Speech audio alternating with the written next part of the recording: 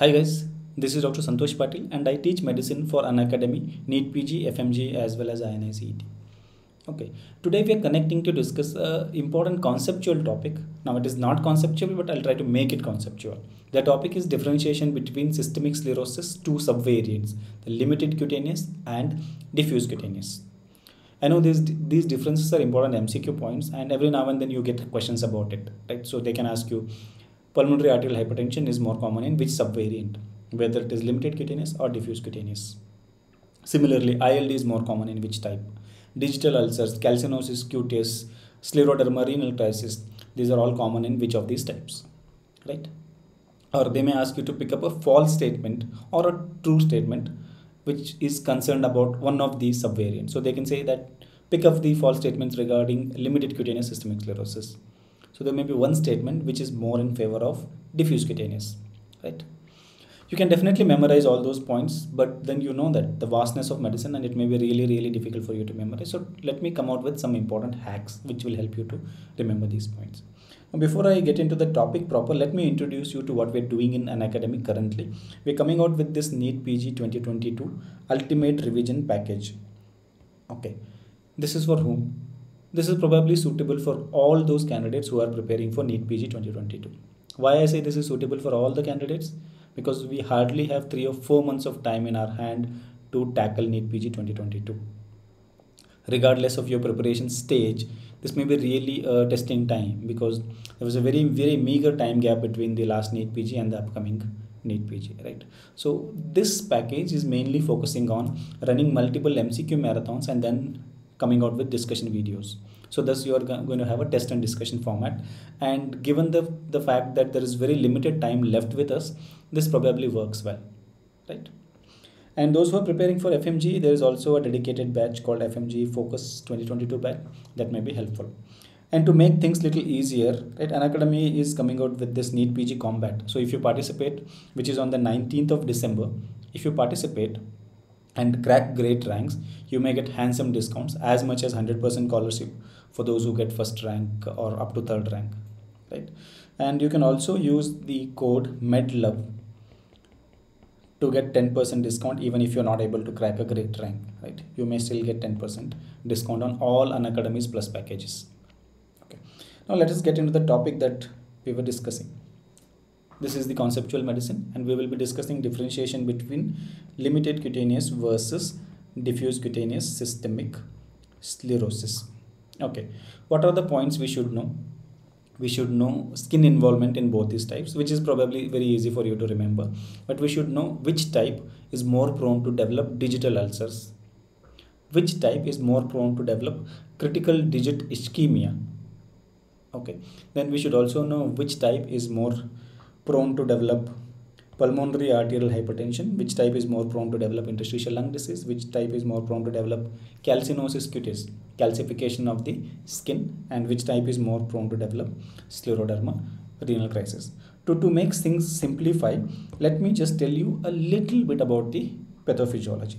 Right. So what happens in systemic sclerosis is because of the combination of environmental factors, genetic predisposition and all, patients develop endothelial injury right? This is the starting point. Endothelial injury leading to ischemia of the small distal capillaries right? The main site where it is injured is capillaries. So there is the ischemia. In response to ischemia right there is the fibrotic response. So the process of fibrosis starts in response to ischemia. This is a very, very rough and very simplistic approach. So we start with endothelial injury, leads to ischemia, and in response, body responds by producing cytokines which trigger fibrosis. What are the cytokines? The most important cytokine is transforming growth factor beta. So this is the spectrum of the pathophysiological process. Starts with endothelial injury and ends with the fibrosis, right? So just remember in case of limited cutaneous sclerosis, this is a hack. Okay, this is not something that you should be writing in a 10 marks paper. This is just a hack. In case of limited cutaneous systemic sclerosis, the dominant force which is causing the damage is endothelial injury.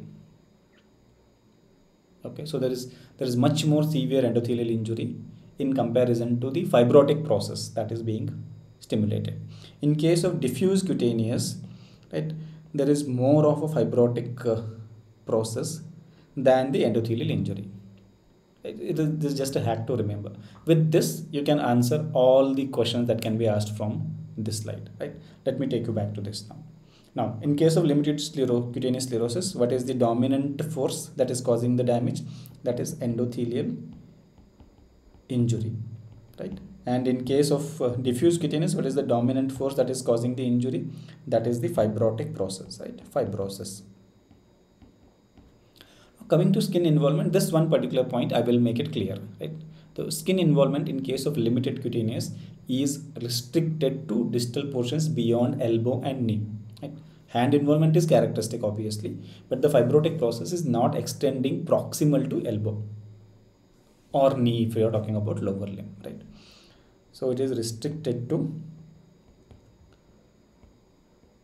elbow to other distal structures. In case of diffuse cutaneous, this is extending proximal to elbow and knee, right? proximal to elbow and knee. this one point you have to remember rest of the things you can now start making sense i want you to remember additional point in case of diffuse cutaneous the Raynaud's phenomenon and skin changes. Skin changes are nothing but tightening or thickening right? Both occur together. The onset is co-onset. In case of limited cutaneous the Raynaud's phenomenon precedes. It precedes many years before you start noticing the skin changes. Okay. This is one additional point i want you to note. Now coming to the next point. Digital ulcer. Who is more prone to develop. It so remember my hack endothelial injury is more common or it is the dominant force in case of limited cutaneous sclerosis. So now tell me who is going to develop digital ulcers? Yes limited cutaneous right? So this is more common in limited cutaneous in comparison to diffuse cutaneous. Critical digital ischemia Again, endothelial injury is on which side? Limited cutaneous side, right? So obviously, the critical digital ischemias are also more common in case of limited cutaneous.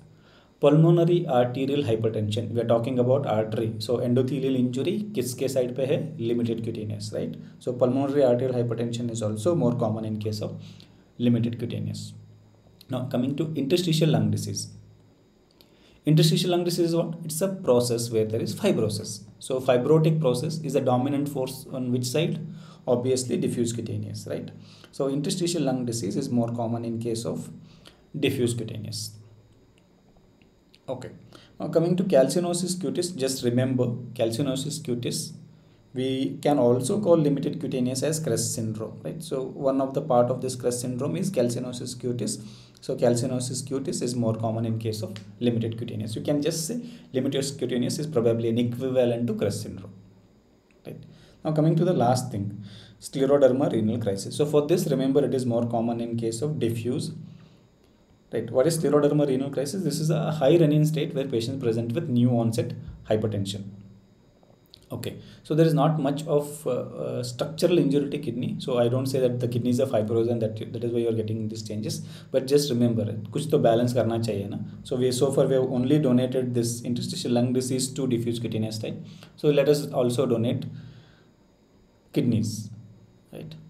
So the two organs which can be donated are commonly affected in case of diffuse cutaneous. So in other words you can also remember in case of diffuse cutaneous fibrotic changes are extending beyond the elbow and जो कुछ भी major internal organs हैं they are getting more affected in case of diffuse cutaneous on the other hand it is the external structures which are more affected in case of limited cutaneous. So from that perspective also you can answer that calcinosis cutis is more common in case of limited cutaneous. Right? That is my approach. So you, if you remember that the vessel injury related things and complications are attributed to the limited cutaneous and fibrotic process related or internal organ related complications attributed to diffuse cutaneous. With this hack, you will be able to tackle most of the questions coming from that. And before I wind up, I just want you to remember, I'm not related to my hack, but for the sake of uh, completion, remember it is anti-centromere antibodies which are characteristically seen in case of limited cutaneous and it is anti-SCL70 antibodies which are characteristically seen in case of diffuse cutaneous. Okay, I hope you will be able to apply this. Just do give a try of few MCQs after this session and it will be like will be cemented in your mind.